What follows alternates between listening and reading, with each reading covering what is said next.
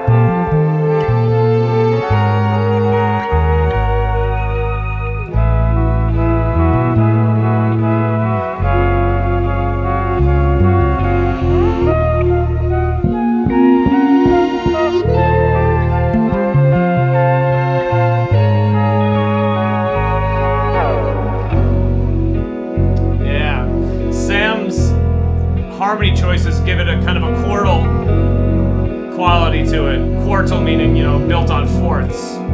And it's, uh, got the spacey, open feel to it. Really beautiful.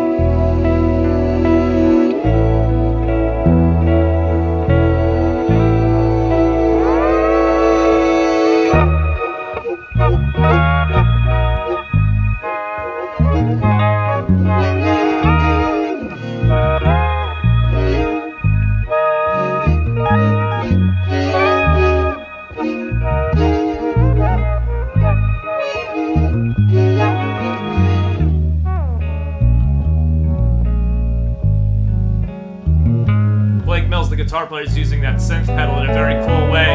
Really mixes beautifully with Sam Gendel's pedals.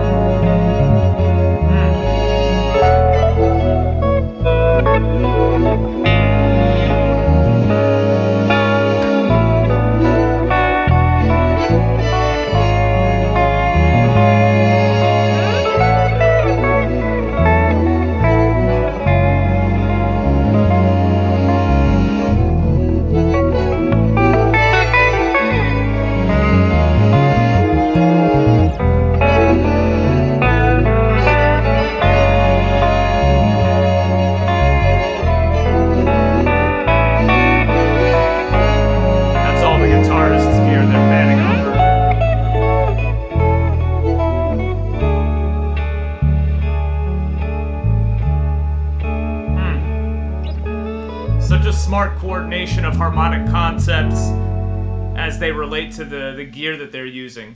Um, the way they put that song together harmonically left a lot of open space for notes um, that that weren't necessarily quote unquote in the key or in the chord, um, which allowed for Sam Gendel's use of, of pitch shifting to really shine and allowed the guitar player to play a lot of really sparse yet interesting voicings. That was really really cool. Wow, um, Sam Gendel is a badass. Check him out, Sam Gendel. Uh, he has a couple albums with him and Sam Wilkes, the bass player. That's full of cool pedal stuff. Definitely worth checking out. Um, yeah, Sam Gendel. The song was Just Wrong by Pino Palladino, Blake Mills, and uh, Sam Gendel on alto. Very cool.